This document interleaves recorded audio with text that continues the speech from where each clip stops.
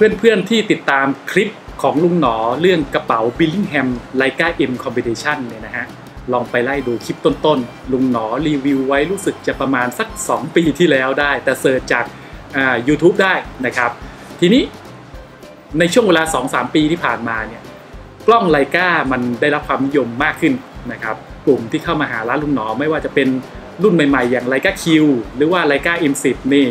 เวลาเข้ามาลุงหนอครับ ช่วยแนะนำกระเป๋ากล้องดีๆ ใส่กับกล้องไลกาหน่อย ลุงก็เลยบอกเลยว่าสิ่งที่ขาดไม่ได้ก็คือไลกา M Combination ในมือลุงหนอนี่อันนี้ของ Billingham เลยพระเอกเลยนะครับ คือสำคัญมากเพราะว่าอุปกรณ์ของไลกาแต่ละตัวมูลค่ามันมันแพงอะมันมหาศาลมาก เพราะฉะนั้นหาอะไรโปรเทคให้มันคุ้มค่านิดหนึ่งนะครับ วันนี้ลุงหนอเลยมาเขาเรียกว่าตอกย้ำนิดนึงในส่วนของเรื่องกระเป๋า Billingham Leica M Combination นะรุ่นนี้เขามี 2 สีในมือลุงหนอก็คือกากี tan สี original ของ Billingham เลย ส่วนอีกสีหนึ่งก็คือสีดำ black black ล้วนเลย ตรงนั้นเพื่อนๆมาเลือกดูที่ร้านลุงหนอได้นะครับ ในชุดเซตของกระเป๋ารุ่นนี้เขาจะมีกล่องมาให้ ตอนที่ทำตลาดทีแรกมีลูกค้าเข้ามาลุงหนอครับตกใจนึกว่าลุงขายอุปกรณ์ไร้ค่าแล้วนะครับ ลุงบอกไม่ใช่ ทำแค่กระเป๋านะฮะคือกล่องเพื่อนๆจะเห็นเลยว่านี่คือกล่องแบบกล้องไลกาเลยนะครับ แต่นี่เป็นกล่องของกระเป๋าบิลลิงแฮมนะ ในกล่องเนี่ยเขาก็จะมีเปิดกล่องกันเห็นๆนี่แหละครับในคู่มือนะฮะจะมีคู่มือการจัดให้ซึ่งในคลิปนี้ลุงหนอบอกเลยว่า ลุงหนอจะเน้นย้ำให้เห็นว่า Billingham Leica M มั มันสามารถใส่กล้อง Leica ได้2 body นะ แล้วก็เลนส์ Leica อีกสัก 3 ตัวไปได้เลยครับ เดี๋ยวเพื่อนๆมาลองดูกันว่า มันทำได้ยังไงนะ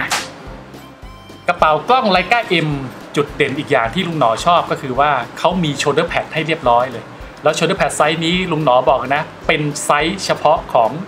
Billingham Leica M นะ ตัวนี้เขาออกแบบเฉพาะเขาเลยนะครับ เราเปิดมาด้านในนี่ อย่างดีเลยครับ partition จะมีให้ 2 ชิ้นเท่านั้นอ่เน้นกันอีกทีนะครับ เป็น 2 ชิ้นลักษณะแบบนี้ มันก็เลยเหมือนปีกนก เดี๋ยวลุงหนอจะใส่ให้ดูว่ามันทำได้ยังไง นี่ฮะชิ้นแรกนะอ้าวเพื่อนๆใส่แบบนี้เลย มันจะพับเป็นอย่างนี้ได้ครับ อันนี้ลุงหนอใส่คร่าวๆให้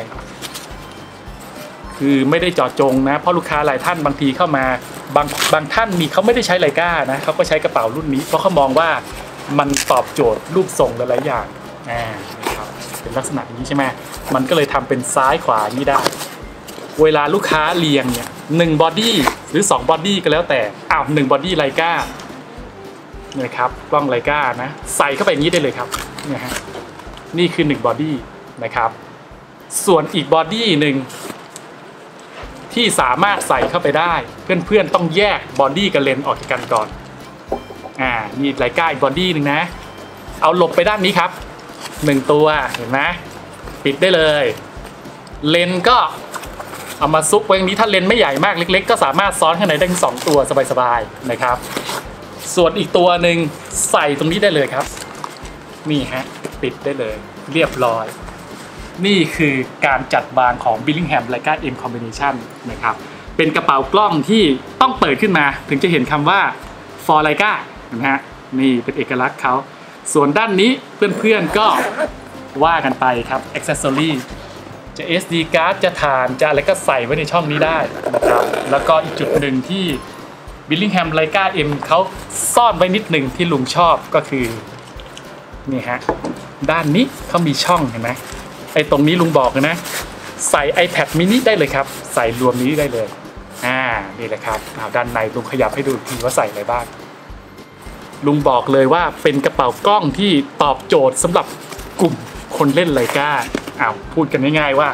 ของมันต้องมีว่างันเถอะนะครับ ถ้ายังไงก็เวลาเข้ามาลุงหนอก็จะแนะนำเสมอว่า ซื้อไปเถอะครับ ใช้มันใช้คุ้มๆไปเลยทีเดียวเพราะว่า อุปกรณ์ในกระเป๋ามันราคามันไม่ถูก คือมีลูกค้าท่านหนึ่งเข้ามานะลุงหนอแนะนำและแกก็เล่นไลกามา ลูกค้าถืออุปกรณ์มาลองในร้านนี่แหละครับกับกระเป๋ารุ่นนี้ พอสะพายเสร็จแกหันมาพูดลุงหนอว่าไงไหมลุงหนอครับ ของในกระเป๋าล้านหนึ่งพอดีลุงก็แกล้งแซวบอกเฮียถือถือไปไหนมาไหนระวังนิดนึงนะครับ